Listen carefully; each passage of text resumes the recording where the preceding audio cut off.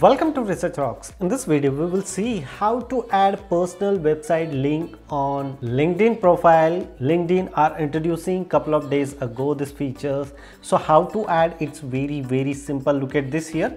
I'm added here personal website link of on my profile. We will see detailed demonstration. Before start the video, please subscribe our YouTube channel Research Rocks. So simply open here new tab and you enter your personal LinkedIn profile. Look at this. This is my LinkedIn profile and I add here my own website. If I click here, so my personal website blog or website link is display here and my all information.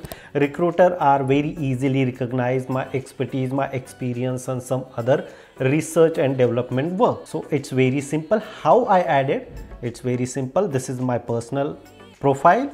You just consider this is your profile and here pencil is available. You click here and look at this here. Scroll down little bit. And then here website tab is automatically display here. If i delete this tab and save so look at this here.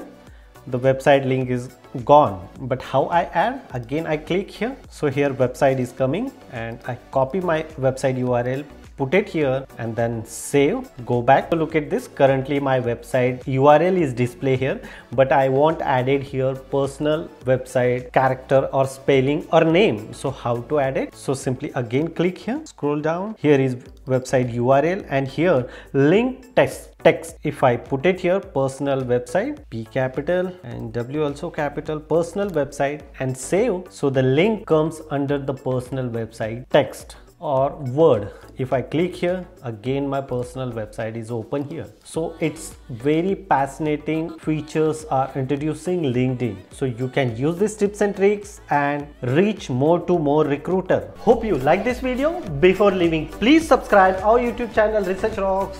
Till then jai hind. Vande mataram